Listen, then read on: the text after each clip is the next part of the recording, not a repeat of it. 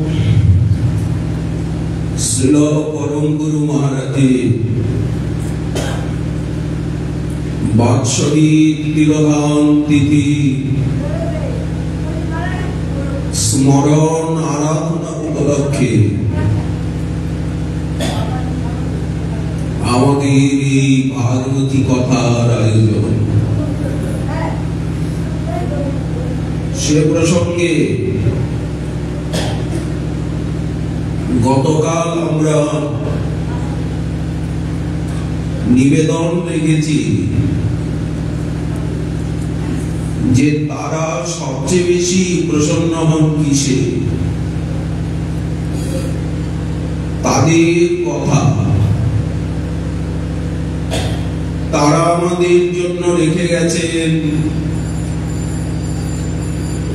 তাদের অনুভবময়ী অমিয়া মাখা অমৃতময় সব গ্রন্থরাজি। গ্রন্থরূপী তারা নিত্য প্রকট যতই আমরা তাদের কথাকে ভালোবাসবো। অহরহ তাদের কথা বলব। তাদের চিন্তা করব। ততই তাদের দিকে এগিয়ে যেতে পারব।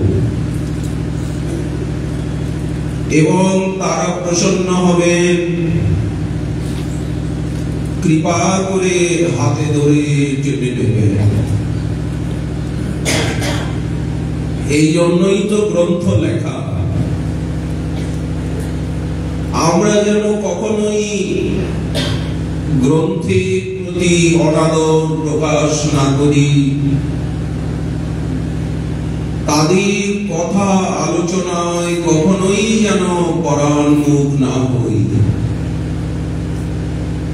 তাহলেই কিন্তু পিছিয়ে পড়ব। ভজন জীবনে আমরা এও নিবেদন রেখেছিলাম সবার চরণে। যে আমাদের পরম গুরু মহারাজের রচিত যে ভক্তি কল্পলতা যা ভক্তিরসামৃত সিন্ধু গ্রন্থের সার সেই ভক্তি কল্পলতার কথা দিয়ে সেই কথা শুনিয়ে আমরা তাকে আনন্দ দিতে চেষ্টা করব। তার কথা তাকে শোনানো। বাইরের কোনো কথাই বলব না। সকলেই কহিব, পরমার্থ। ভক্তি কল্পলতার প্রথমে শ্রীল রূপ গোস্বামী পাদের স্তবমালার থেকে একটি দৈন্য এবং আশাবন্ধ ব্যঞ্জক শ্লোক। উনি চয়ন করেছেন। গ্রন্থের শোভা বর্ধনের নিমিত্ত।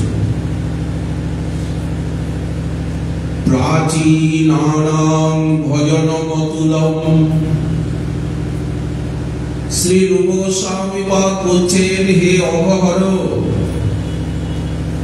হে গোবিন্দ, আমি যখন প্রাচীন মহাত্মাগণের ভজনের কথা শ্রবণ করি, তখন আমার মনে হয় যে আমি ভক্তি সাধনায় একেবারেই অলস। ভক্তি লেশালস্য শ্রবণ কীর্তনে আমার অলসতার অন্ত নেই। এই যে বিমুখতা, আমি কি করে পাব তোমার চরণ? আগে তো সাধনকে ভালোবাসবো, ভজনকে ভালোবাসবো। যারা ভজন করছেন তাদেরকে ভালোবাসবো। তবে তো ভক্তি প্রেম। কিন্তু সে বিষয়ে আমি একেবারেই অলস। আমার কাছে মনে হয় দুষ্কর। কোনদিন আমি পারব না। অমর ভজন করতে। দুষ্করম শৃণ্যত মে তখন নৈরাশীন জলতি হৃদয়ম নিরাশার আগুন জ্বলে ওঠে হৃদয়ে। দগ্ধ করে। কবিরাজ গোস্বামী পাদ এই শ্লোকে মর্মানুবাদ করেছেন। আপনা অযোগ্য দেখি মনে পাও ক্ষোভ। নিজের অযোগ্যতার অনুভবে চিত্তটা ক্ষুব্ধ এই অযোগ্যতার অনুভূতি যোগ্যতা এনে দেয়। যদি মনে হয় যে আমি যোগ্য, তাহলে কখনোই যোগ্যতা আসবে না। এই জন্য আপনা অযোগ্য দেখি। মনে পাও ক্ষোভ, চিত্তটা ক্ষুব্ধ হয়। থাকে নৈরাশ্যে। আবার যখন সাধু মুখে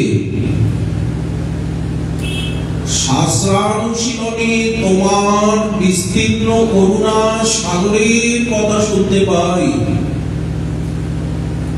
যে তুমি এত করুণ, এত দয়ালু। তুমি প্রেম দিতে এত ব্যগ্র। তখন আমার মনে হয়, না না, আমি তোমাকে অবশ্য পাব।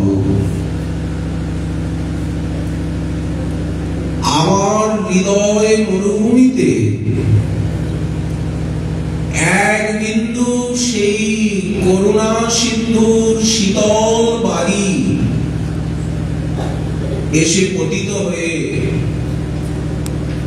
ভিতরটাকে অন্তরকে একেবারে শীতল করে তোলে।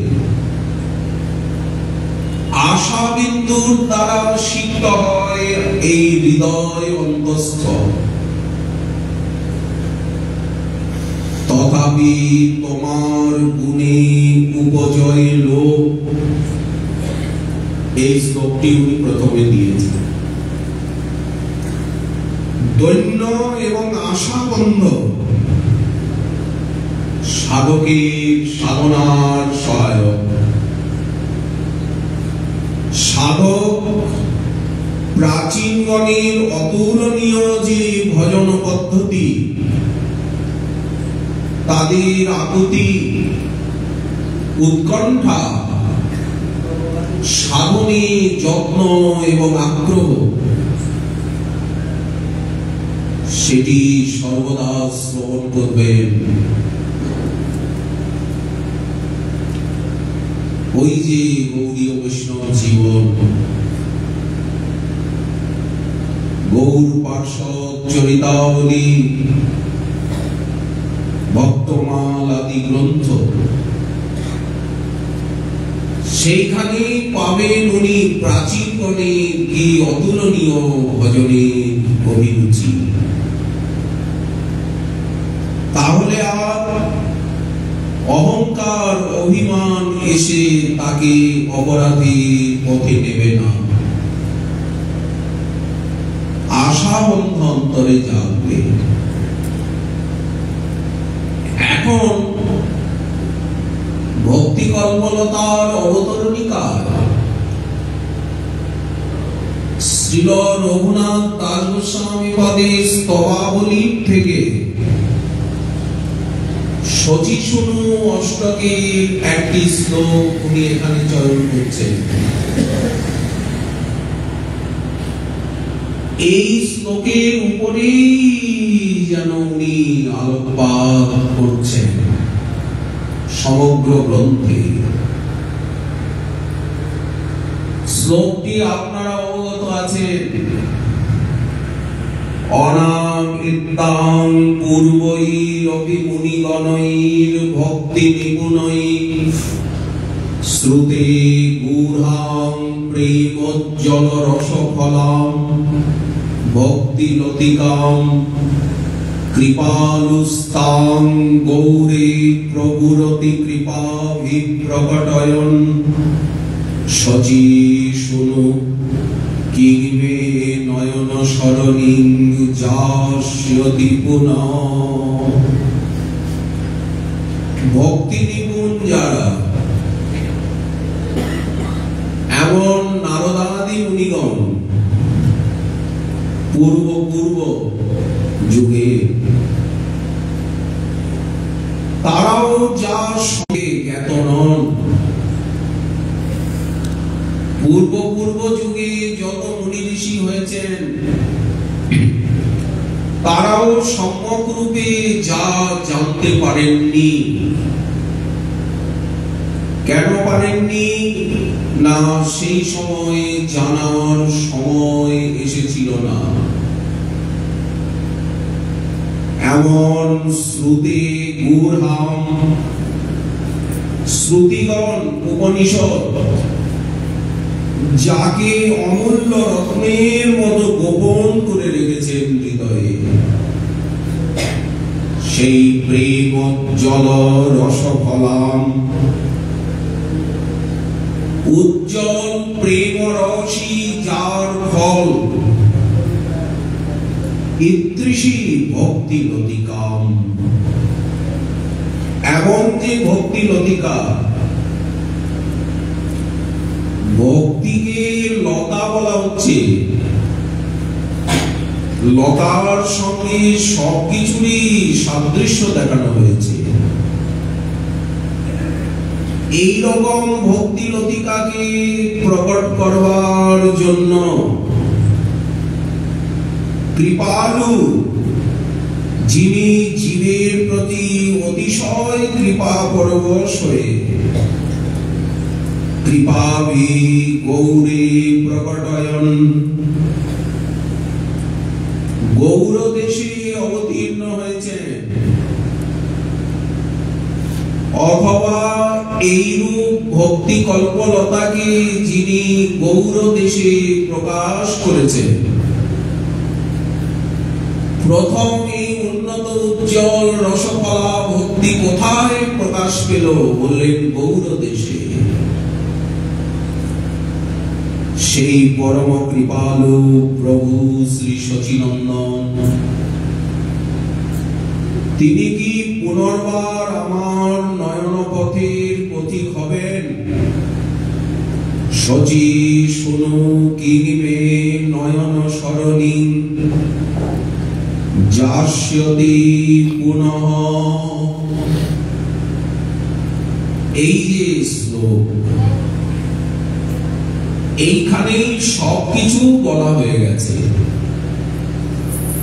যে মহাপ্রভু যে ভক্তি কল্পলতাকে প্রকট করেছেন,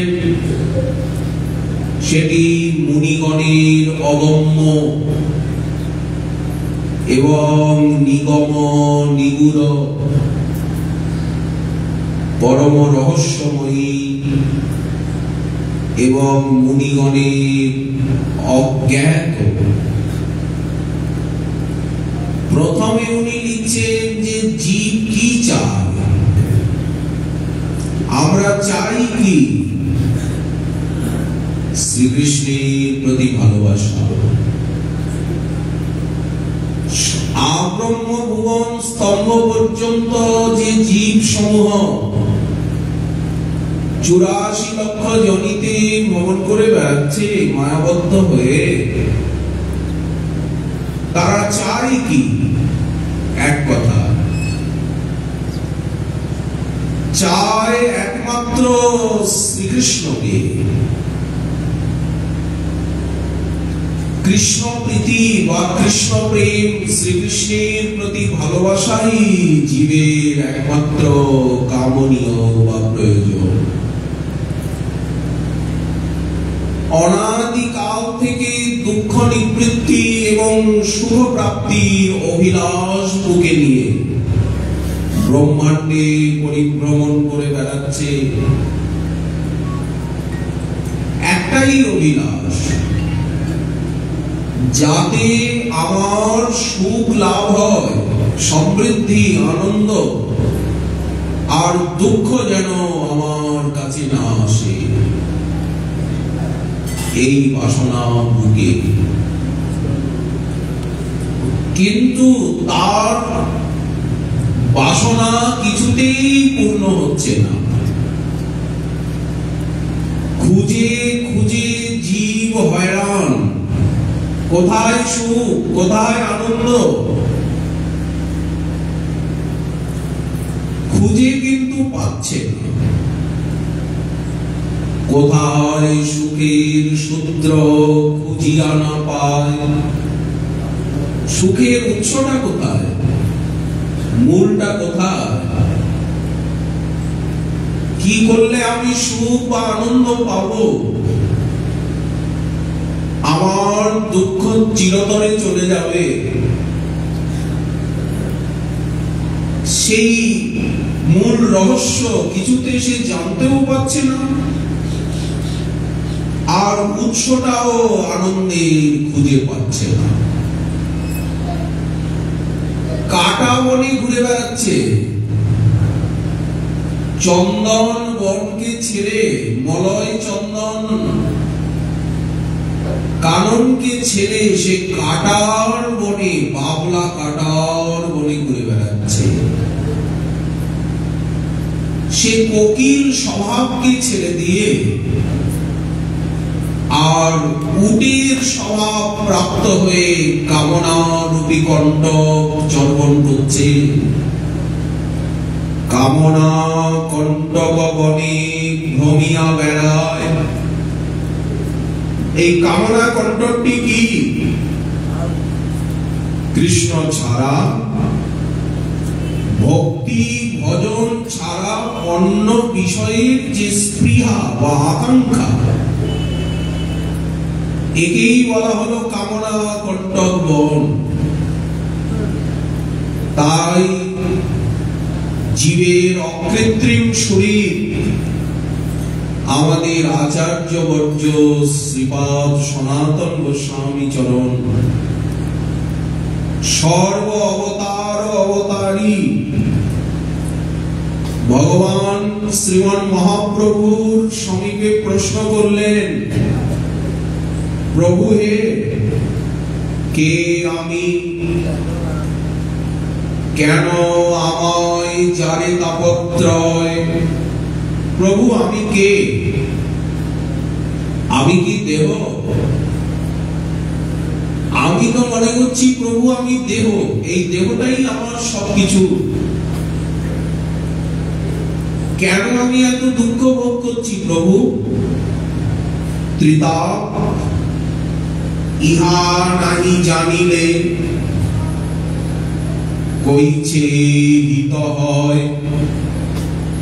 এই রহস্য যদি আমি না জানতে পারি প্রভু, তোমার দয়ায়। আমার হিত বা মঙ্গল কোনোভাবেই হবে না, দয়ালু প্রভু। তার উত্তরে মহাপ্রভু সম্বন্ধ অভিধেয় এবং প্রয়োজন এই ত্রিবিধ তত্ত্বের অবতারণা করে। মহাপ্রভু সনাতন গোস্বামী পাদকে যা শিক্ষা দিয়েছেন দুই মাস কাশী ধামে সনাতন গোস্বামী পাদ সেই সমস্ত বিষয়গুলি শ্রীল শ্রীজীব গোস্বামী পাদকে শিখিয়েছেন। শ্রীজীব গোস্বামী পাদ লিপিবদ্ধ করেছেন সেই উপদেশ। কথাগুলি মহাপ্রভুরই। কিন্তু তারা লিখেছেন শোনা কথা। এই ভাগবত সন্দর্ভে জীব গোস্বামী পাদ তত্ত্ব পরমাত্ম ভগবত এবং কৃষ্ণ সন্দর্ভ এই চারটি সন্দর্ভে সম্বন্ধ তত্ত্বের বিবরণ জানিয়েছেন। এবং ভক্তি সন্দর্ভে অভিধেয় তত্ত্ব। আর প্রীতি সন্দর্ভে প্রয়োজন তত্ত্ব। তার সবিশেষ বর্ণনা দিয়েছেন। সেই প্রেম প্রয়োজন সর্বানন্দ ধাম প্রেমই তো আনন্দ ধাম। ভজনই তো আনন্দ ধাম। ভজনকে ছেড়ে আনন্দ কোথা থেকে পাবো? কি উপায়ে পাবো? অবাস্তব। তার সংক্ষিপ্ত মর্ম এই। যে জীব অনাদি পরতত্ত্ব জ্ঞানের সংসর্গা ভাবে ফলে, জীবের ভিতরে পরতত্ত্ব জ্ঞান নাই। জীব অজ্ঞানে ডুবে গেছে। কৃষ্ণ ভুলি সেই জীব, অনাদি বহির্মুখ। জীবের ভিতরে কৃষ্ণ বিষয়ক জ্ঞান নাই, ব্যবহারিক জ্ঞান আছে। কিন্তু ভগবতীয় জ্ঞান নাই। এই জন্যই অনাদি বহির্মুখতা। এই বহির্মুখতা যে কবে থেকে, আর কতদিন যে এটা থাকবে তা বলা যায় না। এর থেকেই ত্রিতাপ যন্ত্রণা আসছে। কেন এত যন্ত্রণা আমি ভোগ করছি? আমি বহির্মুখ বলে, আমার ভিতরে কৃষ্ণ বিষয়ক জ্ঞান নাই বলে। সেই পরতত্ত্বের সঙ্গে জীবাত্মার যে নিত্য সম্বন্ধের জ্ঞান, তিনি প্রভু, আমি তার চিরদাস, তিনি অংশী, জীব তার অংশ। তিনি শক্তিমান। জীব তার শক্তি। তিনি পালক। জীব তৎকর্তৃক পাল্য রক্ষিত। তিনি বিভু। জীবনু সর্বতভাবে সর্বাশ্রয় সেই আনন্দকন্দ গোবিন্দ। গোবিন্দকে ছেড়ে জীবের কোন শক্তি, সামর্থ্য, সাধ্য কিছুই নেই। সর্বতভাবে সদা কালের জন্য তার সঙ্গে সম্বন্ধ। এই যে জ্ঞান, একেই বলা হয় সম্বন্ধ জ্ঞান। এই জ্ঞানই হাতে ধরে তার কাছে নিয়ে যাবে পরতত্ত্বের বৈমুখ্য বিরোধী। তৎসাম্মুখ্যই হচ্ছে জীবের প্রয়োজন। যে পরতত্ত্বকে বিমুখ করেছে, এইবার যাতে পরতত্ত্বের সাম্মুখ্য লাভ হয়, পরতত্ত্বের সম্মুখীন হতে পারে জীব। কীভাবে হবে?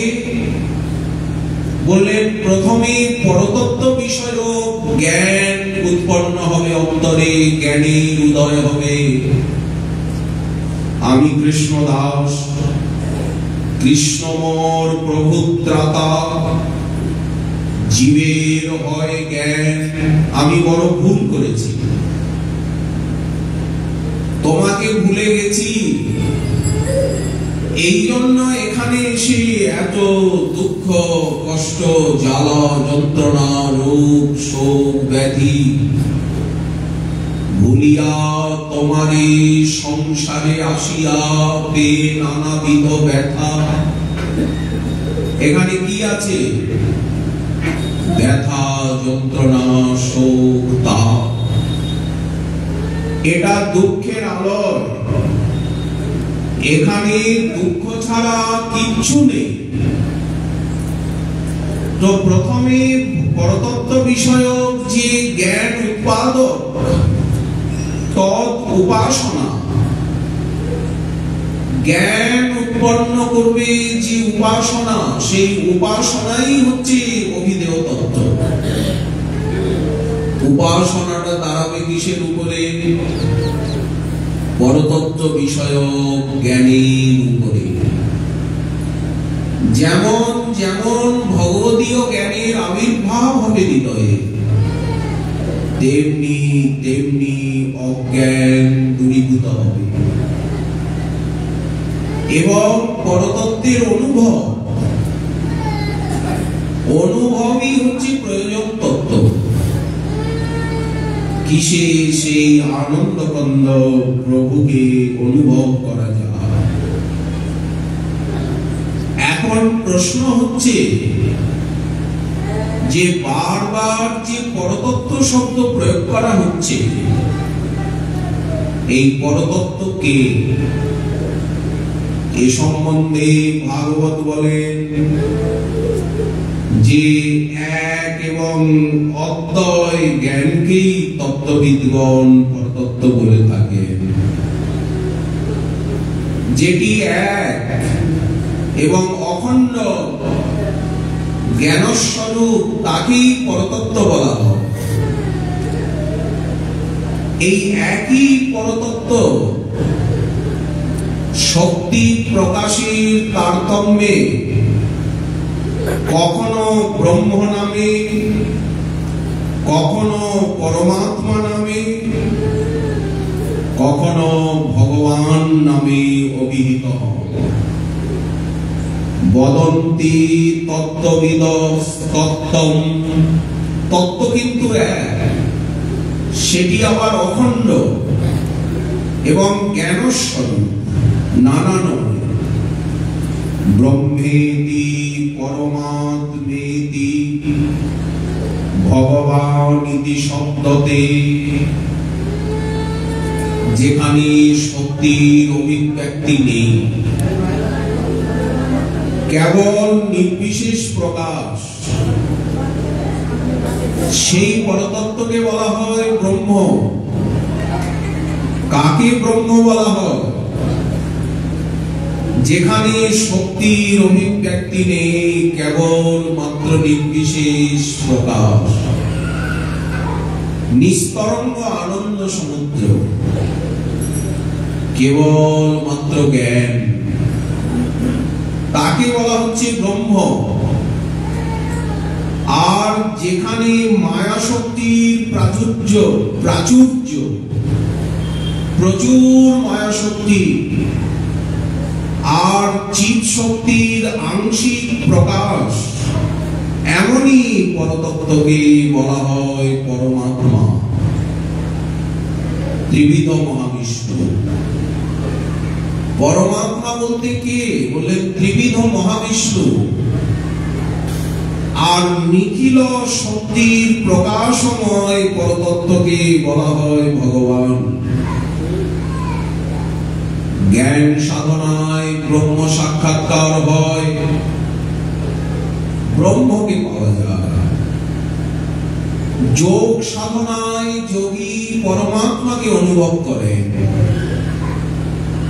কিন্তু সেই অনুভূতি পূর্ণ নয়। একমাত্র ভক্তি সাধনাতেই ভগবানকে পাওয়া যায়। এই ভগবত প্রাপ্তি হচ্ছে পূর্ণ প্রাপ্তি। শ্রীমদ ভাগবত ব্রহ্ম সাক্ষাৎকার, পরমাত্ম সাক্ষাৎকারকে পূর্ণ প্রাপ্তি বলেননি। পূর্ণ প্রাপ্তি হচ্ছে ভগবত সাক্ষাৎকার, ভক্তিতে ভগবানকে পাওয়া। অতএব ব্রহ্ম এবং পরমাত্মার যে অনুভব, সেটি আংশিক বা গৌণ। এই জন্য ভাগবতী আংশিক অনুভূতির কথা ব্যাসমণি বলতে চাননি। মুখ্য প্রয়োজন হচ্ছে ভগবত অনুভব, ভগবত প্রাপ্তি।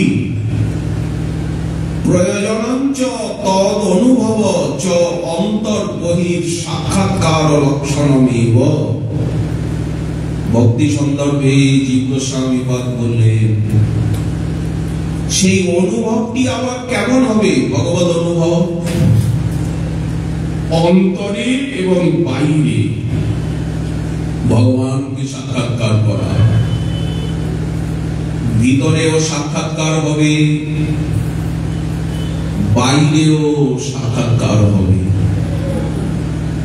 যেমন নয়ন মুদিয়া থাকি, হৃদয়ে গোবিন্দ দেখি, নয়ন মেলিয়া দেখি শ্যাম। এই দেখুন রাধারানীর অনুভূতিতে ধরা পড়ছে, ভগবত অনুভব কেমন? আমি যখন নয়ন মুদ্রিত করে থাকি, তখন পরমানন্দময় ভগবানকেই দেখা যায়? বা দেখি, আবার যখন নয়ন উন্মিলন করি, তখন স্থাবরে, জঙ্গমে, চেতনে, অচেতনে সর্বত্র ভগবানকে দর্শন করেন প্রেমী। ভিতর বাহির জুড়ে সাক্ষাৎকার। সাক্ষাৎকার তাহলে এক আন্তর সাক্ষাৎকার, এক বাহ্য সাক্ষাৎকার। নয়ন দেখি শ্যাম। যদি চলি যাই পথে শ্যাম যায় মোর সাথে সাথে চরণে চরণ ঠেকাইলা। তাহলে ভিতর বাহির জুড়ে দেখছেন। এই জন্য এই ভাবে যতক্ষণ পর্যন্ত ভগবানকে দর্শন করা না যাচ্ছে, ভগবত অনুভূতি না হচ্ছে, ততক্ষণ পর্যন্ত কিন্তু জীব তার জীবত্বকে প্রাপ্ত হতে পারবে না। এই যে তার দারিদ্রতা, অভাব অনাদি বৈমুখ্য এবং ত্রিতাপে দগ্ধীভূত অবস্থা, মায়ার লাথি খায়। এই যে সর্বদা মায়ার লাথি খাচ্ছে জীব, কামনা কণ্টকে ক্ষতবিক্ষত হচ্ছে। ভগবত সাক্ষাৎকার ছাড়া কখনোই এই দুঃখের নিবৃত্তি হবে না আর এই সমস্ত জীব ভগবানেরই শক্তি বৈভব, তটস্থাক্ষ শক্তি বৈভব বলে। ভগবানেরই তো অংশ, তারই তো বিভূতি। জীব তো ভগবানের থেকে আলাদা কোনো কিছু নয়, শক্তি শক্তিমান হবে। তারই তো শক্তি। শ্রী গুরু বৈষ্ণবের কৃপায় জীবের সেই অচিন্ত শক্তি জীবের ভিতরেও প্রভুর অচিন্ত শক্তি বিরাজ করছে। ভগবান অনন্ত শক্তিময়, যেহেতু সে ভগবানের অংশ, বিভিন্নাংশ, এই জন্য তার ভিতরেও কিছু দিব্য শক্তি রয়েছে। কিন্তু সে জানে না। যদি গুরু বৈষ্ণবের কৃপায় ভক্তি দেবী তাকে অঙ্গীকার করে। ভক্তি দেবী অঙ্গীকার না করলে এবং ভক্তি মহারানী কখন অঙ্গীকার করবে জীবকে? গুরু বৈষ্ণবের কৃপা যখন হবে। তখন ভগবানের সাক্ষাৎকার সে লাভ করতে পারবে ভক্তি দেবীর কৃপা। নিজের সামর্থ্যে নয়। তখন নয়নের বিষয়ীভূত হবেন তিনি।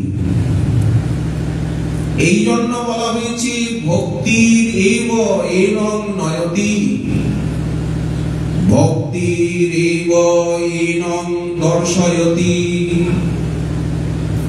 কে নিয়ে যায় তার কাছে ভক্তি।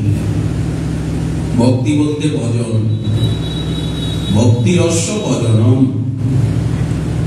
কে তাকে দেখায় বলেন ভক্তি মহারানী দেখিয়ে দেয় প্রেমাঞ্জন ছুরিত ভক্তি বিলোচনে যখন অন্তর বাহিরে ভগবত সাক্ষাৎকার লাভ হয়, তখন আপনা আপনি আনুষঙ্গিক ভাবে সমস্ত দুঃখ চলে যায়। যেমন সূর্যের উদয়ে অন্ধকার আপনা আপনি চেষ্টা করে অন্ধকারকে দূর করা যাবে না। অথচ সূর্যোদয়ে আপনা আপনি অন্ধকার যেমন চলে যাবে। তেমনি ভক্তি মহারানীর অনুকম্পায়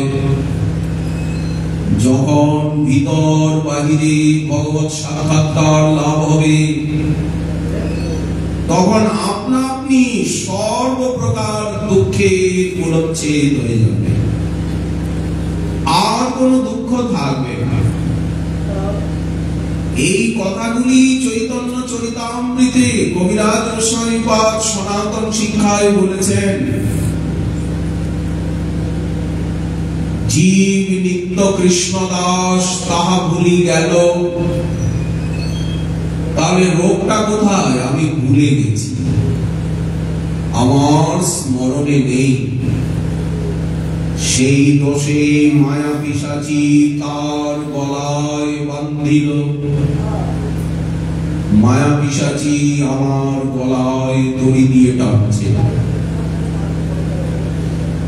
অভিদেয় হচ্ছে সাধন ভক্তি। আর প্রেম হচ্ছে প্রয়োজন। জীব সর্বত কৃষ্ণের দাস, সে মায়ার দাস নয়। কারও দাস নয় জীব আজ মায়াবদ্ধ হয়ে নানা লোকের দাসত্ব করতে হচ্ছে। সে পেটের দায়েই হোক, অর্থের দায়েই হোক, সম্মানের দায়েই হোক।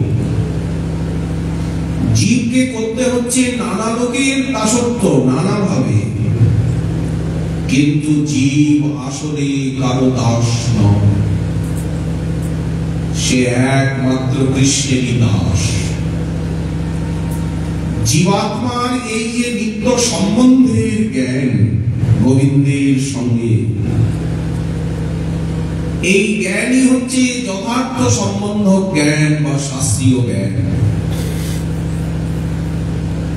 কৃষ্ণবর প্রভু ত্রাতা এই জ্ঞান লাভ হবে। সম্বন্ধানুকূল, কায়িক, বাচিক এবং মানসিক চেষ্টা প্রকাশ পাবে। শুধু জ্ঞান হলেই তো হলো না যে কৃষ্ণ আমার প্রভু ত্রাতা সঙ্গে সঙ্গে জাগবে এই জ্ঞানের অনুকূলতায় কায়িক, বাচিক, মানসিক চেষ্টা। বললেন, এই চেষ্টাই হচ্ছে সাধন ভক্তি। কায়িক চেষ্টা কি? শ্রবণ কীর্তনাদি। আর বাচিক চেষ্টা কি? বলেন এই যে কীর্তন করছেন। কৃষ্ণ যখন আমাদের প্রভু, তখন আমাদেরকে কৃষ্ণেরই কথা বলতে হবে, মায়ার কথা বললে হবে না। বাচিক চেষ্টা। কায়িক চেষ্টা কি? শরীরটা দিয়ে কৃষ্ণেরই সেবা করতে হবে। মায়ার সেবা করলে হবে না। তেমনি মানসিক চেষ্টা কি? কৃষ্ণ যখন আমাদের প্রভু, তখন মনে তাকেই চিন্তা করতে হবে। তারই সুখের চিন্তা হবে। কি করলে তাকে সুখ দেওয়া যায়? বললেন, এই যে সম্বন্ধ জ্ঞান, এই জ্ঞানের অনুকূলে কায়িক বাচিক মানসিক চেষ্টাই হচ্ছে অভিধেয় তত্ত্ব বা সাধন ভক্তি সাধন ভক্তি হচ্ছে চেষ্টা। চেষ্টা কেন বলা হচ্ছে? বললেন, জোর করে করতে হয় ঔষধ যেমন জোর করে সেবন করতে হয় ওষুধ খেতে স্বভাবতই কারও রুচি হয় না। ওষুধ তেতেও লাগে। কিন্তু তথাপি যেমন নিয়ম পূর্বক ঔষধ, পথের সেবা করতে হয়। তেমনি চেষ্টা পূর্বক শ্রবণ, কীর্তন, অর্চন বন্দনাদি এই যে নবধা ভক্তি যত্নের সঙ্গে অনুশীলন করা। যত্নাগ্রহ বিনা ভক্তি না জন্মায় প্রেমে। আবার একটা যত্ন, আগ্রহ শব্দ রয়েছে। আর সাধন করতে করতে যখন পরিপক্ক একটা অবস্থা আসে, জাল দিতে দিতে দিতে দিতে খেজুরের রস গুড় হয়ে গেল। আখের রস গুড় হলো, গুড়ের থেকে চিনি মিশ্রি তেমনি ভজন যেমন যেমন পরিপাক হতে থাকে। বললেন, সেই পরিপক্ক অবস্থা বা ফলস্বরূপ হচ্ছে প্রেম ভক্তি। এই সাধন ভক্তি পরিপক্ক হয়ে গিয়ে প্রেম ভক্তিতে পরিণত অপক্ষে সাধন রীতি পাকিলে সে প্রেম ভক্তি। পদার্থ যতই সুন্দর হোক না কেন, কিন্তু যতই সদ্গুণ বিশিষ্ট হোক না কেন, যতই ক্ষমতা তার থাক সম্বন্ধ ছাড়া ওই পদার্থের প্রতিকৃতি হয় না। ভগবান যতই সুন্দর হন, যতই তিনি আনন্দময়, সুখময়, রসময় হন না কেন সম্বন্ধ জ্ঞানের উদয় না হবে, ততক্ষণ পর্যন্ত তার প্রতিকৃতি হবে না, তাকে ভালো লাগবে না। কখন গোবিন্দকে ভালো লাগবে? তার নাম, তার কথা, সেবাকে ভালো লাগবে। যখন তার সঙ্গে আমার সম্বন্ধ আছে চির নিত্য এই সম্বন্ধ জ্ঞানে উদয় হবে। দৃষ্টান্ত দিচ্ছেন চন্দ্রে লাবণ্য আছে, সৌন্দর্য আছে, বহুগুণ সম্পন্ন হলেও সম্বন্ধ জ্ঞান নাই বলে হাওয়া ছেলের মুখ দেখে মা যত আনন্দ পান। সুন্দর, কিন্তু চাঁদকে দেখে তো মা এত আনন্দ পায় না। হাবা ছেলের মুখখানা দেখে যে আনন্দ পায়। কেন পায়? আমার ছেলে এই জ্ঞানী। বললেন, ঠিক ঠিক গোবিন্দ যতই সুন্দর হন, আনন্দময়, রসময় হন, যতক্ষণ পর্যন্ত তিনি আমার প্রভু, তিনি আমার সখা, তিনি আমার প্রিয়তম, বা আমার ঈশ্বরী হন, বৃন্দাবনেশ্বরী, তার প্রাণনাথ বলি, এই জ্ঞানের উদয় না হচ্ছে। ততক্ষণ কৃষ্ণকে ভালো লাগবে না। তাহলে সম্বন্ধ জ্ঞানী হচ্ছে মূল আচ্ছা জগতে কত লোক আছে? কে কাকে ভালোবাসে? যার সঙ্গে যার সম্বন্ধ আছে, সেই তো তাকে ভালোবাসে। সুন্দরের তো অভাব নাই। তাই বলে কি সবাই সবাইকে ভালোবাসে? কখন ভালোবাসার উদয় হয়? যখন একটা সম্বন্ধ জ্ঞানী বোধ জাগে অন্তরে, তো প্রীতির উদয় তখনই সম্বন্ধ জ্ঞানীর গাঢ়তা না থাকলে প্রীতির উদয় হয় না। আর প্রীতি বিনা ইষ্টে গাঢ় আবেশ আসে না। আর এই যে রাগাত্মিকা ভক্তি বা রাগানুগা ভক্তি, যা মহাপ্রভু আমাদের জন্য গৌর দেশে প্রকাশ করেছেন, এই যে ভক্তি লতিকা, এটি গভীর আবেশময়ী প্রীতিময়ী। গাঢ় আবেশ, সর্বদা মনের আবেশ। আবেশকেই বলা হচ্ছে রাগানুগা ভক্তি। এই আবেশ ছাড়া আস্বাদন হয় না। অনুভব করা যায় না। আবিষ্ট চিত্ত যতক্ষণ না হচ্ছে আবেশ এই জন্য মহাজন বললেন, বিষয়েতে যে প্রীতি এবে আছয় আমার। আবেশ দেখানো হচ্ছে ভ্রমণের যেমন মকরন্দে আবেশ, চকরের যেমন চন্দ্রিমায় আবেশ চাতকের যেমন জলদে আবেশ, পতিব্রতার যেমন পতিতে আবেশ, দরিদ্রের যেমন ধনের প্রতি আবেশ।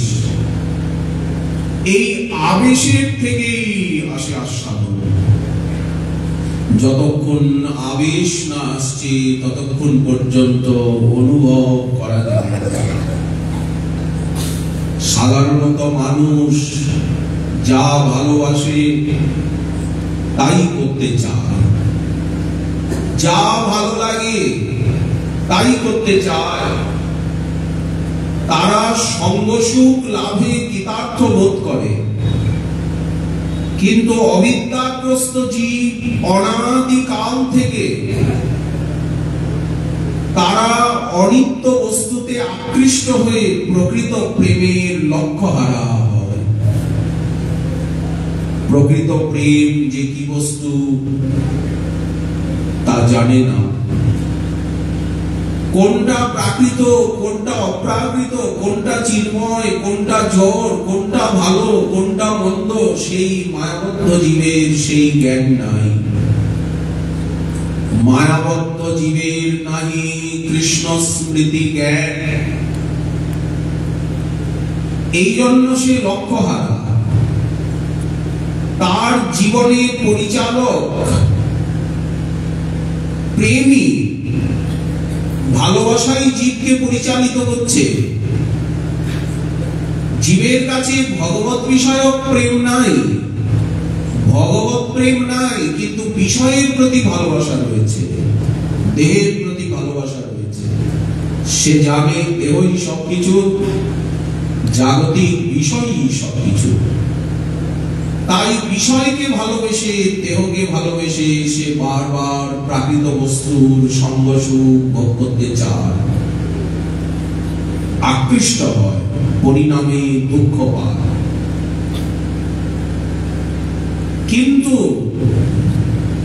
যখন সে এই যে তার বিষয়ের দিকে ছুটে যাওয়া দেহাভিমুখী জগদাভিমুখী হওয়া এর কারণ কি? এর কারণ হচ্ছে প্রকৃতির প্রভাব, মায়ার প্রভাব। এইভাবে জীব জগতে ভিন্ন ভিন্ন বস্তুকে প্রেমের আস্পদ বলে মনে করে, আর সেই সেই বস্তুর কাছে বারবার ছুটে যায়। দেহ, কেহ, জনক, জননী ভাই, ভগিনী, স্ত্রী, পুত্র, কন্যা, আত্মীয়, স্বজন, বিষয়, বৈভব, যশ, মান, গৌরব, সংসারের বহু বিষয়কে প্রীতির বস্তু বলে সে মনে করে। ভালোবাসে এইগুলিকে। আর এইগুলি নিয়েই নাড়াচাড়া করে। এইগুলি চায় সেই সকল বস্তু লাভ করাই জীবনে প্রয়োজন বলে মনে করে। কি করলে এগুলি পাবো, এদেরকে পাবো বলেন তার জন্য কর্ম করে। যথেষ্ট পরিশ্রম করে। ভগবানকে পেতে, প্রেম ভক্তিকে পেতে এত পরিশ্রম করতে হয় না। যতটা পরিশ্রম মাই বস্তুকে পেতে আমরা করি। কিন্তু কাল সে অতি দুরন্ত শিক্ষক। আমাদের পিছনে পিছনে ঘুরছে কাল। মৃত্যু। মৃত্যু এসে বুঝিয়ে দিতে চেষ্টা করে, কাল এসে বুঝিয়ে দিতে চেষ্টা করে সময়। পরিবর্তনশীল সময় আমাদেরকে বোঝায়। মৃত্যু আমাদেরকে বোঝায়, রোগ, শোক, জ্বালা, যন্ত্রণা আমাদেরকে বোঝায় যে সাংসারিক বস্তু মাত্রই নশ্বর চিরস্থায়ী নয়। কোন জিনিস চিরস্থায়ী নয়, কোন ব্যক্তি বস্তু আমার হাতের কাছে চিরদিন থাকবে না। নশ্বর চঞ্চল পরিবর্তনশীল। আজ যাকে আমি ভালোবাসছি, সে আমার হাতে থাকবে। আর আমিও থাকব। এই দেহটাকে পর্যন্ত আমায় ছেড়ে চলে যেতে হবে বা দেহটা আমাকে ছেড়ে চলে যাবে। এই যে জ্ঞান, এই যে ভবের বাজারে এসে খাঁটি সোনা কিনতে গিয়ে আর অজ্ঞানতায় গিলটি সোনা ইমিটেশনকে কিনছি। দেখুন পরম গুরু মহারাজের প্রত্যেকটি শব্দ আমরা বলছি। তার অনুভবময়ী বাণী। উনি লিখছেন যে আমরা সোনার দোকানে এসে প্রকৃত সোনা চিনতে না পেরে, কিনতে না পেরে, অজ্ঞানতায় গিলটি সোনা ইমিটেশন কিনছি। একটু পরেই, কিছুদিন পরেই ধরা পড়ছে, এটা তো সোনা নয়, এটা তো ইমিটেশন এটা তো গিলটি সোনা। প্রবঞ্চিত হয়ে মানব যখন বুঝতে পারে, তখন অজ্ঞানতা বশত সে বিফল হয় তার সমস্ত চেষ্টা। একদিন যাকে আপন বলে মনে করে করত, একদিন যে আপন ছিল, দুদিন পরে তাকে শত্রু বলে মনে হয়। কেন এমন হয়? সে পর হয়। দুদিন পরে নাকি সে পর হয়ে গেল। যাকে এতদিন আপন বলে মনে করতাম, দুদিন পরে সে কি করে পর হলো? শুধু পর নয়, তাকে মনে করছি প্রাণ ঘাতক, ভীষণ শত্রু হয়ে দাঁড়ানো তখন বিশ্বাসের মূলে কুঠারাঘাত অপ্রীতি স্থল হয়ে যায়। তখন মানুষ হাকার করে, কাকে বিশ্বাস করেছি? কাকে বিশ্বাস করেছি? কেন এমন বলেন, এটাই জগতের নিয়ম। পরিবর্তনশীল কাল আমাদেরকে বুঝিয়ে দেয় জগতের কোন ব্যক্তিকে, কোন বস্তুকে বিশ্বাস করো না। স্রোতের জলে ভেসে যাচ্ছে কচুরি পানার মতো। এ স্রোতের জল দাঁড়াবে না। আচ্ছা শাস্ত্র যে বললেন, অনাদি বহির্মুখ। জীব ভগবানকে ভুলে গেছে, এই দোষে তার স্বরূপের আবরণ ঘটেছে। সে স্বরূপকে ভুলে গেছে। আচ্ছা এই যে ভুলিয়া তোমারে এই যে ভুলিয়া কথাটি তাহলে কোনদিন কি জীবের ভগবানকে মনে ছিল? ভগবত স্মৃতি ছিল কি? তারপরে সে ভগবানকে ভুলে গেছে। একদিন জীবের অন্তরে ভগবানের স্মৃতি ছিল। তারপরে সে হঠাৎ ভগবানকে ভুলে গেল। এখানে এলো। বললেন, না। এই রূপ সন্দেহ নিবৃত্তির জন্যই বলছেন অনাদি বহির্মুখ অনাদি কাল থেকেই কতগুলি জীব ভগবানকে ভুলে গেছে। সেই সকল জীবের নাম হচ্ছে নিত্যবদ্ধ জীব। এই নিত্যবদ্ধ জীবই হচ্ছে এই মায়ার জগতে যারা বাসিন্দা আর কতগুলি জীব আছে যেগুলি অনাদি কালের থেকেই ভগবত চরণে নিত্য উন্মুখ? তাদের কোনদিন ভগবত বিস্মৃতি আসে না। আসেনি, তারা নিত্য মুক্ত তারা হচ্ছেন চিরকাল ভগবত ধামে ভগবত সেবা করছে তারা মায়ার জগতে আসেননি। জীবের দুটো শ্রেণি দেখানো হয়েছে, নিত্যবদ্ধ আর নিত্য মুক্ত আমরা কোনদিন আমাদের অন্তরে ভগবত স্মৃতি ছিল না। এই জন্য বলছেন অনাদি বহির্মুখ যাই হোক, এই অবিদ্যার জগতে কোনটাই ঠিক নয়, কোনটাই সত্য নয়। কোনটাই স্থির সব কিছু চঞ্চল। নশ্বরতার প্রভাব। স্ত্রী, পুত্র, আত্মীয়, স্বজন, ধন, সকলই নশ্বর কিছু স্থায়ী নয়। সংযোগ খনি আনন্দ খনি এই দেখুন, কোটি টাকা ব্যয় হয়ে গেল। বিবাহেতে কত ঢাক ঢোল পিটিয়ে, কত জাত জন্মকের সঙ্গে বিবাহ দেওয়া হলো। পিতামাতা বিবাহ দিলেন, আত্মীয় স্বজন বিবাহ দিলেন, কত খরচা করলেন। এত আদরের ছেলে।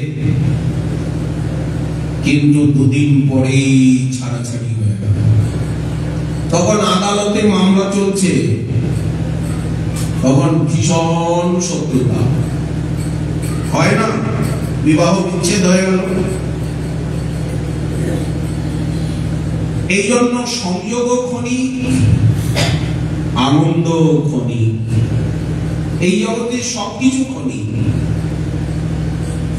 বিয়োগে হাহাকার। যখন হারিয়ে যায়, তখন হাহাকার বেদনা। মানুষ বুক চাপড়ে কাঁপে। অনিত্য বস্তুর প্রতি প্রীতি স্থাপন করলেই পরিণাম বিষময় হয়। যতই এই জগতের ব্যক্তি বস্তুকে ভালোবাসবো, ততই বেশি দুঃখ পাব। মানুষ যখন এটা বুঝতে পারে, তখন দেহ, গেহ, স্ত্রী, পুত্র, ধন, জন, মান, প্রতিষ্ঠা, গৌরব এইসব লাভকে জীবনে প্রকৃত পুরুষার্থ বা প্রয়োজন বলে আর মনে হয় না। বলেন, না না এইগুলির দরকার নেই। এগুলি আমাকে দুঃখ দেবে। আমি এগুলি চাই না। তখন সে সাধু শাস্ত্রের উপদেশ কান দিয়ে শুনে। কখন সাধু শাস্ত্রের উপদেশ কান পেতে মানুষ শোনে। যখন সে বুঝতে পারে দেহ, গেহ, স্ত্রী, পুত্র, ধন, জন, প্রতিষ্ঠা, মান, গৌরব, তাকে প্রকৃত সুখ শান্তি দিতে পারে না, পারবে না। এগুলোর সঙ্গে তার কোনোই সম্পর্ক কোনোদিন ছিল না এবং নেই। এইরকম একটা দৃঢ়তা উদয় হয়। অলঙ্কতি আসে তখনই সাধু শাস্ত্রের উপদেশ কানে যায়। তার আগে তো যায় না। সাধু শাস্ত্রের উপদেশ বাণীতে তার আস্থা হয় না। হরিকথার প্রাঙ্গণে তারা আসে না। কেন আসবে? যারা দেহ গেহ স্ত্রী পুত্র ধন জন প্রতিষ্ঠা মান গৌরব দেহ সুখ চায়, তারা তো হরিকথার প্রাঙ্গণে আসতে পারে না। তাদের তো হরিনাম হরিকথায় কখনোই রুচি হয় না। কার রুচি হয়? বললেন যার অনিত্য বোধ হয়েছে, দুঃখময় বলে জ্ঞান হয়েছে তখন সে সাধু শাস্ত্রের উপদেশ কাম পেতে শোনে। শ্রী গুরুদেবের কৃপায় ভগবত সাধনার প্রভাবে অবিদ্যার প্রহেলিকা বুঝে যায়। এই অবিদ্যা বা অজ্ঞানটা কখন কীভাবে ঘটে বললেন, গুরু কৃপায় ভগবত সাধনার প্রভাবে সাধন করতে করতে সাধু শাস্ত্রের উপদেশ শুনতে শুনতে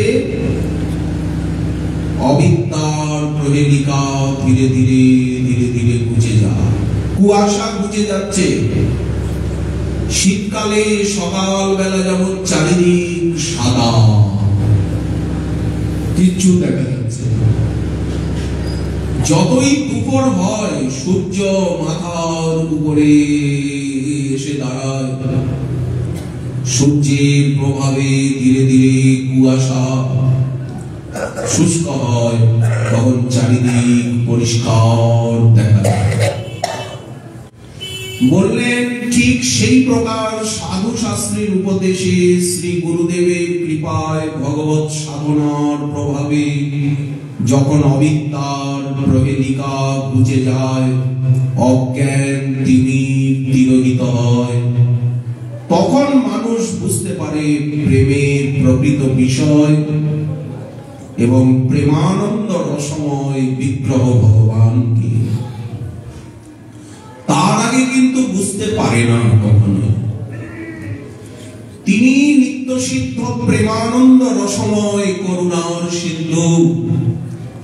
তিনি চিরবান্ধব, চিরমধুর, চিরনূতন চির প্রেমাস্পদ চির প্রণয়ী চির আপন তার প্রতি হৃদয়ের ষোলো প্রীতি সংস্থাপনই মানব জীবনের একমাত্র মুখ্যতম প্রয়োজন। তাকে ষোলো ভালোবাসা। ভগবানের প্রতি যদি একবার ভালোবাসা স্থাপিত হয়, তাকে যদি ষোলো আনা ভালোবাসতে পারি, তাহলে ষোলো আনা সুখ, আনন্দকে পাব। যদি এক আনা ভালোবাসা হয় তো এক আনা আনন্দ পাবে জীব যখন ভালোবাসাটা বাড়তে বাড়তে বাড়তে বাড়তে ষোলো আনা হবে, তখন মানব জীবন ষোলো আনা সফল হবে। এই তার প্রতি হৃদয়ের ষোলো আনা প্রীতি সংস্থাপনই হচ্ছে সুদূর্লভ মানব জীবনের একমাত্র মুখ্যতম প্রয়োজন।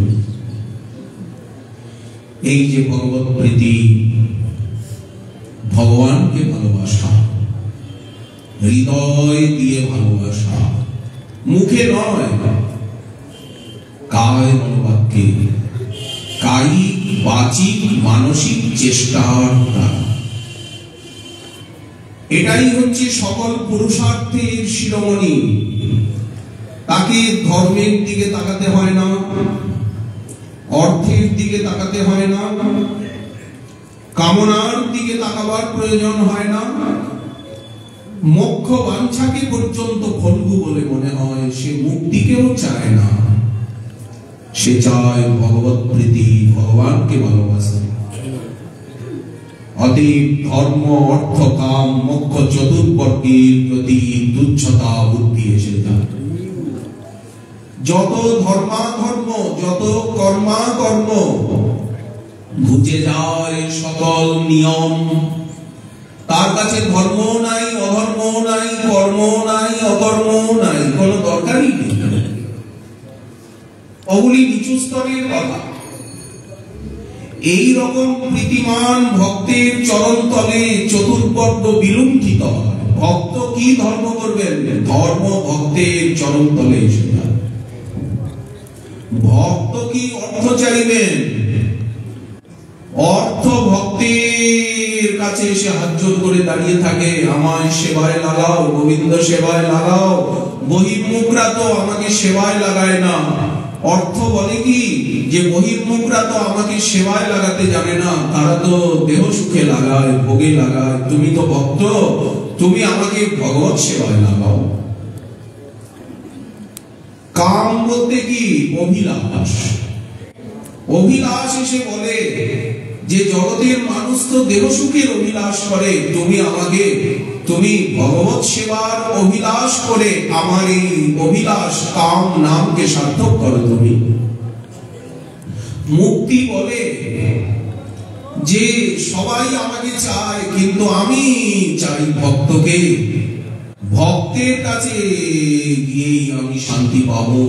তো ধর্ম, অর্থ, কাম, মোক্ষ, সমস্ত শাস্ত্র নিদ্ধি সিদ্ধি বললেন সমস্ত কিছু ভক্তের কাছে এসে তার চরম তলে লুণ্ঠিত হয়।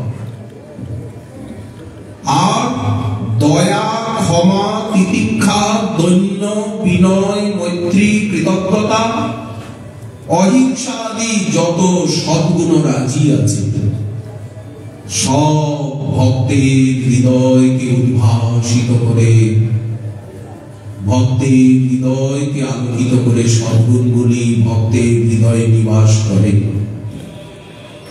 ভগবানই যখন প্রীতিমানের হৃদয়ে এসে আবদ্ধ হয়ে যান ভক্ত চিত্তে ভক্ত গৃহে কৃষ্ণের নিত্য বিলাস, তো যত সদ্গুণ আছে ক্ষমা, দয়া, তিতিক্ষা, দৈন্য, বিনয়, কৃতজ্ঞতা, অহিংসা আদি সদ্গুণগুলি ভক্তের হৃদয়ে এসে উপস্থিত হয়। সব সময় ভক্তের হৃদয়কে আলোকিত করে রাখে। প্রীতিপূর্বক এই যে ভগবানের প্রতি ভালোবাসা, এই ভালোবাসার এত শক্তি, ভগবানকে ভালোবাসাই আমাদের জীবনের একমাত্র লক্ষ্য বা কাম্য। আর কাউকে ভালোবাসবো না। একমাত্র তাকেই ভালোবাসবো হৃদয়ের ষোলো আনা ভালোবাসা তাকেই দেবে। এই প্রীতি করে কি বলপূর্বক ভগবান কৃষ্ণকে আকর্ষণ করে নিজের বশীভূত করে দেয়? এই হচ্ছে পিতা, মাতা, বংশ ধন্য হয়ে যায়, ভক্তকে ভক্ত আর কারও কাছে ঋণী নয়। কোন দেবতার পূজা করছেন না উনি। তো দেবঋণ কি করে শোধ হবে? বলেন, কৃষ্ণ ভজনে সব ঋণ আপনা আপনি শোধ হয়ে যায়। আর দেবতার পুজো করতে হয় না। ঋষিগণের কাছে যে আমরা ঋণী বললেন ভক্তি শাস্ত্র অধ্যয়ন করে ভগবত বিষয়ক জ্ঞান লাভ করলে, ভগবত ভজন করলে ঋষি ঋণ আপনা আপনি চলে বললেন যে, শ্রাদ্ধ তর্পণ করছেন না উনি। পিতৃঋণ মাতৃঋণ মাতা পিতার মন দিয়ে সেবা করলেন না। তো মাতা পিতার ঋণটা কি করে শোধ হবে? বললেন গোবিন্দ চরণ ভজন করলে মাতা পিতার ঋণ আপনা আপনি শোধ হয়ে যাবে। বললেন, সব মানুষের কাছে আমরা ঋণী, তারা আমাদের এত উপকার করেছেন। এই যে পশু পক্ষীগুলির কাছেও যে এত ঋণ, বললেন, কোন না কাম ত্যাগী কৃষ্ণ ভজে শাস্ত্র আজ্ঞা মানি দেব ঋষি পিত্রাদিকের কবু নহে ঋণী। যতদিন বংশে কৃষ্ণ ভক্তি পরায়ণ, সন্তান নাহিক করেন জন্ম গ্রহণ। বংশে যতক্ষণ পর্যন্ত ভক্ত সন্তান না হয় ততদিন পিতৃলোক পিণ্ডের আশায় সংসারে ভ্রমেন সদা দুঃখিত হিয়ায় এই যে আমাদের পিতৃপুরুষগণ, শ্রাদ্ধ, তর্পণ, পিণ্ড পাওয়ার জন্য যে ঘুরে বেড়াচ্ছে, তাদের উদ্ধার হচ্ছে। তারা আমাদের পিছনে পিছনে ঘুরে বেড়াচ্ছে, যে আমাদের সন্তানগণ আমাদেরকে ভুলে গেছে, শ্রাদ্ধ, তর্পণ করছে না, পিণ্ড দিচ্ছে না, তারা বড় দুঃখী। যদি ভক্ত বংশে আবির্ভূত হন, ভক্ত জন্মান, ভজন করেন, তাহলে পিতৃলোক, মাতৃলোক, আপনা আপনি উদ্ধার হয়ে যায় ভক্তের ভজন প্রভাবে। সারা বংশটা ধন্য হয়ে যায়, ভক্তের কুল, ভক্তের বংশ। ভগবান বলেন, আমার ভক্তের বংশ এই বংশকে সম্মান করতে হবে, কারণ এই বংশে ভক্ত জন্ম নিয়েছে। ভগবান নিজে সম্মান করেন এবং ভক্তের বংশকে সম্মান করা উচিত, এটা নিজে আচরণ করে দেখা। এই দেখুন, মহাপ্রভু বললেন, কুলিন গ্রামে সত্যরাজ খান, বসু রামানন্দ, তাদের পূর্বপুরুষ মালাধর বসু তিনি একখানা গ্রন্থ লিখেছেন, কৃষ্ণ বিজয় কাব্য। সেইখানে একটা কথা লিখেছে উনি পরম ভক্ত ছিলেন, নন্দন, নন্দের নন্দন কৃষ্ণ, মোর প্রাণনাথ মহাপ্রভু বলছেন, আমি যখন কৃষ্ণ বিজয় করি, তখন এই কথাটা আমার এত ভালো লাগল। মালাধর বসু, উনি লিখেছেন, নন্দের নন্দন কৃষ্ণ, মোর প্রাণনাথ এই বাক্যে বিকাইনু আমি তার বংশের হাত। এই কথাটার জন্য আমি মালাধর বসুর বংশের হাতে বিকিয়ে দিয়েছি। সত্যরাজ খান, বসু রামানন্দকে বলছেন রামানন্দ বসু কুলিম গ্রামবাসীকে বলছেন কুলিম গ্রামবাসীকে এমন ভাবে কৃপা করেছেন মহাপ্রভু কুলিম গ্রামটাকে বৃন্দাবনে পরিণত করেছেন। কুলিম গ্রামীর ভাগ্য কখনই না যায়। শুকর চড়ায় বোম সেও কৃষ্ণ গায়। যেমন আমাদের ব্রজদামে শুকর চড়াচ্ছে, আপনাকে দেখে বলল, বাবা, রাধে রাধে, মহারাজজি, রাধে রাধে। সকালবেলা রাস্তা ঝাড়ু দিচ্ছে, ড্রেন পরিষ্কার করছে, আপনাকে দেখে বলছে, বাবা, মহারাজজি, রাধে রাধে, বাবা, রাধে রাধে রাধে রাধে। কুলিন গ্রামেরও এই অবস্থা। একেবারে বৃন্দাবনের মতো হয়ে গেছে মহাপ্রভুর কৃপা, এমন ভক্তি বৃষ্টি হয়েছে। কুলম পবিত্রম জননী কিতার্থা, বসুন্ধরা সা বসতিশ্চ ধন্যা। পৃথিবী ধন্য হয়ে গেল, ভারতবর্ষ ধন্য হয়ে গেল। দেশটা ধন্য হয়ে গেল, গ্রামটা ধন্য হয়ে গেল, ওই বাড়িটা পর্যন্ত তীর্থ হয়ে গেল। ওটা ভক্তের বাড়ি, ভক্তের নিলয় ভক্তের গ্রাম। নৃত্যন্তি স্বর্গে বিতর পিতৃলোকের থেকে তারা স্বর্গলোকে চলে গেলেন।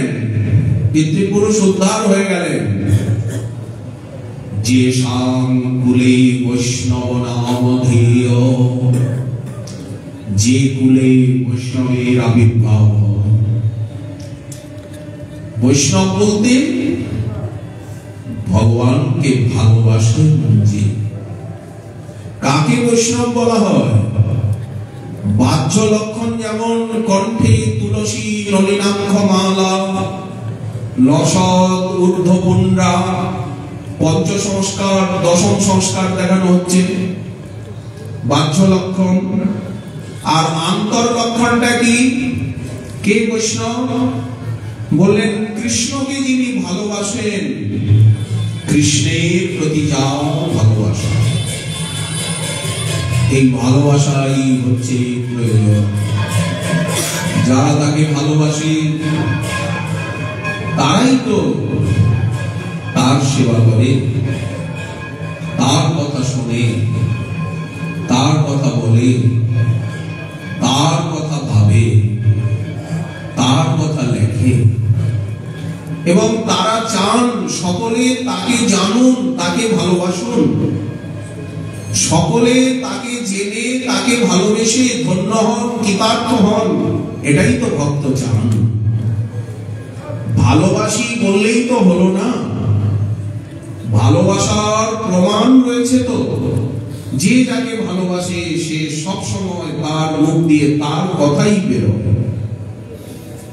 যে যাকে ভালোবাসে সব সময় তার কথা শুনতে চায়, তার কথা বলতে চায়, তার সেবা করতে চায়, তাকে দেখতে চায়, তাকে ছুতে চায়, তার কাছে থাকতে চায়, বুকটা ছটফট করে ভালোবাসার জনকে কাছে না পেলে আপনা আপনি তার কথা মনে হয়।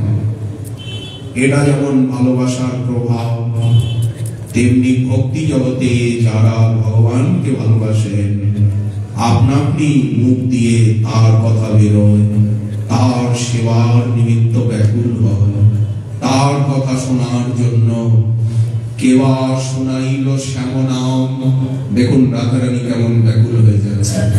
কানের ভিতর দিয়া মরমে পশিল গো। আকুল করিল মন প্রাণ এই ভালোবাসার লক্ষণ ভালোবাসার থেকে আসছে শ্রবণ, কীর্তন, অর্চন বন্ধন নবধা ভক্তি নবধা ভক্তির থেকে আসে প্রচুর ভালোবাসা। আবার ভালোবাসার থেকে আসে আরও সাধন। ভালোবাসাও বাড়ে, সাধনাও বাড়ে। এইবার বেড়ে চলেছে। ক্ষুধাও বাড়ে আস্বাদনও বাড়ে আর খাদ্য গ্রহণের শক্তিও বাড়ে যত ক্ষুধা, ততই সে বেশি প্রসাদ পেতে পারবে। প্রসাদের আস্বাদন হয়, ক্ষুধার না থাকলে তো হয় না। কোনদিন ক্ষুধার নিবৃত্তি হয় না। এই ভালোবাসার এমনই দিব্যতা, তৃষ্ণা শান্তি নহে, তৃষ্ণা বাড়ি নিরন্তর। তৃষ্ণা বেরিয়ে চলে। এই ভালোবাসা হাতে ধরে তার চরণে তাকে নিয়ে যায়। ব্যাস চির নিত্যকাল নিত্য সেবা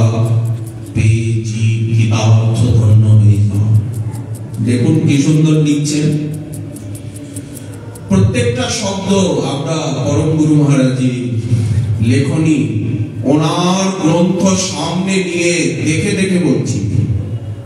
না দেখে নয়, একটা শব্দ নিজের মুখের নয়। তবে যে জায়গায় কঠিন লাগছে, সেই জায়গাটা বারবার বুঝতে চেষ্টা করছি, নিজে। নিজে। তার কথা তাকে শোনানো হচ্ছে, উনি দয়া করে আমাদের দিকে দৃষ্টিপাত করুন, যে আমার আমাদের, উনি আমাদের দিকে দৃষ্টিপাত করে একটু দেখুন যে নাতিরা, উনি যে কষ্ট করে গ্রন্থ লিখেছেন, এত কষ্ট করে সেখানে এত অভাবের দিনে যে নাতিরা ওনাকে বলেনি ওনার গ্রন্থকে অনাদর করেনি, তারা ওনার গ্রন্থের সুন্দর আরও সুন্দর কলেবর করেছে। উনি প্রকট থাকতেই দুটি সংস্করণ উনি নিজেই করে যান তৃতীয় সংস্করণ গুরু মহারাজ করেন, সেটিও নিঃশেষ হয়ে যায়। তারপরে ইদানিং কালে গুরু মহারাজকে প্রকট কালে আমাদের শ্রীকৃষ্ণ চৈতন্য সেবা সদন ট্রাস্ট প্রত্যেকটি গ্রন্থকে অভিনব আকার দান করেছে। মানে সেকালের ছাপা কাগজ এবং বর্তমানে ছাপা কাগজ এবং রূপদান সম্পূর্ণ অভিনব। উনি কৃপা করে করুণা নয়নে আমাদের দিকে তাকিয়ে দেখুন যে নাতিরা ওনার গ্রন্থের আদর করছে এবং শ্রবণ কীর্তন করছে। ওনার কৃপা আমাদের উপরে সর্বদা বর্ষিত এই প্রার্থনা, এই অভিলাষ নিয়েই তো আমরা দুঃসাহস করছি। এই বিষয়ে আশা